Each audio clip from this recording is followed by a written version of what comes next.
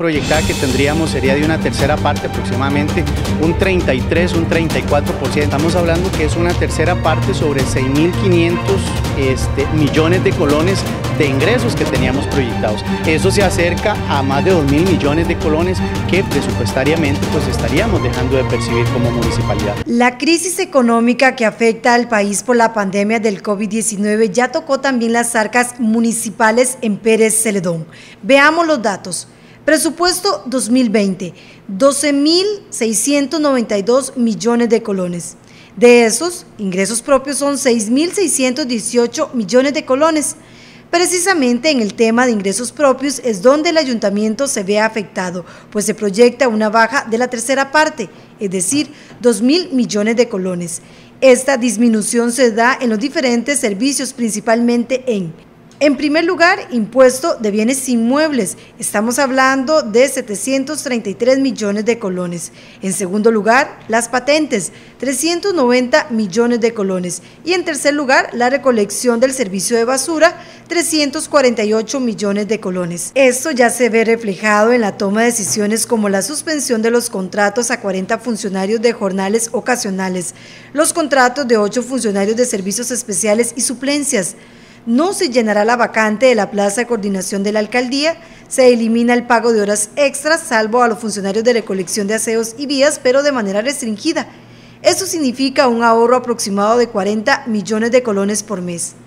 A la lista para disminuir gastos se suma la suspensión de la ejecución de los recursos para los distritos, que son alrededor de 300 millones de colones, y para el 2021 no se estarán presupuestando. Uno tiene que ver con los jornales ocasionales, que esos básicamente están contratados por proyectos específicos, sin embargo es un brazo que más utilizamos desde el punto de vista de gestión vial, que son otros recursos que el gobierno nos provee. Luego el siguiente nivel es el de servicios especiales, en donde los servicios especiales que teníamos, que era alrededor de ocho servicios especiales ya fueron cesados, ya fueron recortados y de ser necesario, Carmen, pasaríamos al nivel ya de interinatos o suplencias. Hemos ido hasta el momento haciendo nombramientos mensuales, este, hemos visto un comportamiento que puede, podemos sostener ese interinato durante este cierre de mes de mayo, estamos tomando decisiones para el mes de junio. También se solicitaron prórrogas de tres meses en diferentes entidades financieras donde se tienen créditos y algunas instituciones como el IFAN. Producto del dinero que este, recogemos, que recolectamos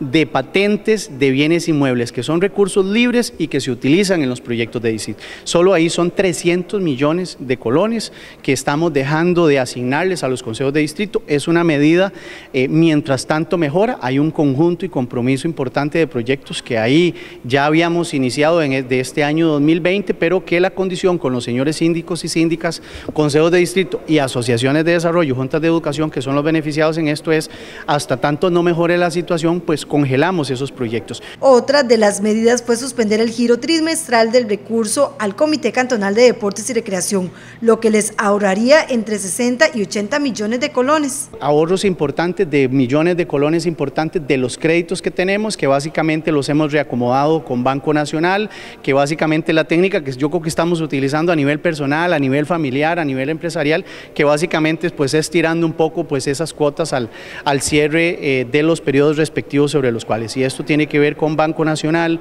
con Banco Popular, eh, hicimos negociaciones importantes. Eh, alrededor de unos 30, 40 millones de colones también mensualmente mensualmente con la empresa de servicios públicos de Heredia a la cual le, pagamos, le pagamos el servicio de cámaras y monitoreote, andan alrededor de 10 millones de colones, pues ya tuvimos una negociación importante para que también muy posiblemente durante este año no eroguemos eso. Además, como parte de las medidas está la suspensión por medio de caja chica, compra de uniformes, se suspendieron las operaciones de la oficina periférica. Sabiendo de que el tema de eh, Juegos Nacionales fue suspendido, el tema de disciplinas y tanto competición como recreación fue suspendido, entonces hemos hecho una negociación para que de igual manera que estamos haciendo un esfuerzo nosotros como municipio, ellos lo hagan este, en cuanto a lo que es la necesidad y específicamente los recursos que realmente sean esenciales. El tema remunerativo, el tema de servicios públicos y algunos otros temas que ya... Para ellos? Eh, a ver, nosotros habíamos hecho dos transferencias, cada una de esas transferencias son de 40 millones de colones, entonces por ahí podríamos andar entre unos 60 y unos 80 millones de colones que dejamos de, eventualmente podríamos dejar de transferir al Comité Cantonal de Deportes nuestro. El alcalde indicó que si se queda en firme el proyecto de ley que exime a las municipalidades de la regla fiscal, cerrarían otros recursos. Tiene que ver este, eh, con ahorros importantes, con transferencias que hacemos a las juntas de educación, al CONABDIS, a la ONT, al Registro Nacional, que eso pues eh, a partir de ya la firmeza de este proyecto pues vamos a poder calcular este como municipio. La municipalidad también tomó medidas de apoyo a los contribuyentes como conceder una prórroga hasta junio para el pago de patentes que venció en marzo y también para el servicio de recolección de basura. Se suspendieron los cobros administrativos y judiciales. La municipalidad además amplió su horario de atención de lunes a viernes de 7 de la mañana a 6 de la tarde y los sábados de 8 de la mañana a 12 de mediodía. Ante este panorama, ¿qué dicen los generaleños? ¿Consideran importante el pago de los impuestos? Aquí sus voces. Bueno, yo creo que la importancia sería, la municipalidad tendría un poquito más de fondos para todos los, los gastos que ellos tienen, para, no sé, caminos y muchas cosas que tal vez tienen ocupa hacer la municipalidad, ¿verdad? ¿Siente que... Que, por el tema de la crisis mucha gente no paga los impuestos y podría obviamente traer problemas? Bueno, es, es posible que sí, pero también puede ser que, que nos agarremos de ahí para como, eh, como una excusa, pienso yo. Pero tal vez si hacemos el esfuerzo, sí lo podemos hacer. Que esa es la, la fuerza de, de circulación de la economía del cantón, ¿verdad? Entonces eso es muy, muy importante que se mueva al día, ¿verdad? En este momento de pandemia, de crisis, eh, que se viene abajo mucho de esos pagos, ¿usted siente que podría ocasionar un problema para el cantón, para la municipalidad? ¿O hay que pagarlo, hacer el esfuerzo? Bueno, en eso no les sabría decir si, viene un problema, si hay un problema para el cantón, porque no sé qué, qué, qué tan bien está financiado la MUNI en, económicamente, pero y si la MUNI pudiera aflojar eso a, a, la población ayudaría mucho, ¿verdad? No sé qué tanto sería perjudicada la MUNI si se daría. Eh, recordemos que el pago de los impuestos municipales viene a contribuir de una forma u otra al desarrollo de lo que es el cantón, al poder mantener, por ejemplo, en funcionamiento lo que son los servicios de recolección de basura, ¿verdad? Este, la funcionalidad que tiene esto ahora mucho más con la, con la situación esta de la pandemia que se nos ha presentado, eso nos ayuda a controlar todo este tipo de situaciones y de cosas. Entonces, ya de una forma u otra, nosotros y cada uno de nosotros debemos aportar el granito de arena para poder este, que esto siga funcionando, que esto siga caminando.